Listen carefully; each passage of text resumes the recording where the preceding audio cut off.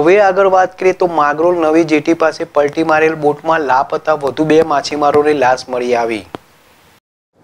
બોટમાં સવાર આઠ માછીમારો સાથે કાલે એક મૃતદેહ અને ચાર માછીમારો મરી આવ્યા હતા, જેમાં આજે વધુ બે માછીમારોની લાશ મરી આવી છે. વિપુલ કાશીરામ માછી, રોનક વિપુલ માછી, ગામ પરગામ તાલુકો ઉમરગામ જિલ્લો વલસાડના હોવાનું જાણવા મળે છે. બંને મૃતક પિતા પુત્ર હોય માછીમાર સમાજમાં અરેરાટી વ્યાપી ગઈ છે. ચિત્ર પરમાર છે ડેસ્ટીવી માંગરોળ.